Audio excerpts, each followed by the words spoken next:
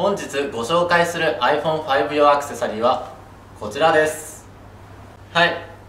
こちらのバンパーケースなんですけど、うん、と2つに分かれます。お2層構造ってやつだ、はい、2層構造です、うん、2層構造の柔らかい方シリコンでできているパーツなんですけどちょっと触ってみてください。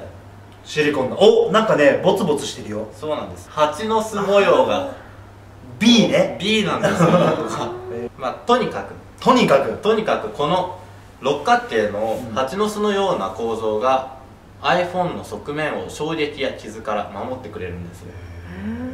こちらの外側のパーツなんですがポリカーボネート素材でこういうふうにしなるんですね、側面のですねこう指に触れるところです。マット加工されていてこう指紋がつきにくく目立ちにくい感じになってるんですよいいじゃんちょっとつけていこうよ。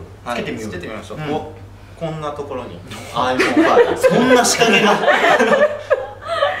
つけてみました、ボタンなんですけど、シリコンだから、まあ押せるんですけどちょっと押しにくくはなるんですね。まあ、男性の方だとこうポケットに無造作に入れたりすると思うんで、ちょっと押すのに力がいるっていう点ではこう誤動作が少なくなっていいかと思います、マナースイッチも問題なく切り替えることができます、ライトニングコネクタの部分ですね、ここがあの広く開いてます。ちょっと見づらいけどでも開いてるねちゃんと。はい、うん、こう充電同期は問題なく行います、うん、バンパーケースで側面が守られるんですがこう前と後ろちょっと心配じゃないですか。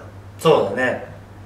そのまんまだもんね。はい。そういう方のためにですね保護シートがついているんです。お嬉しい嬉しい、前面用と背面用、うん、このケースを買えば iPhone の側面だけじゃなくて前面背面も守れるってことでもう全部が守れるっていう感じ。そうなんです。特にあの、うん、バンパーケースっていうのは iPhone のこのリンゴマークのデザインとかをそのまま出したい人におすすめしたいので、うん、フィルムもついているので傷がつくの心配な人にもおすすめできます、うん、カラーラインナップは？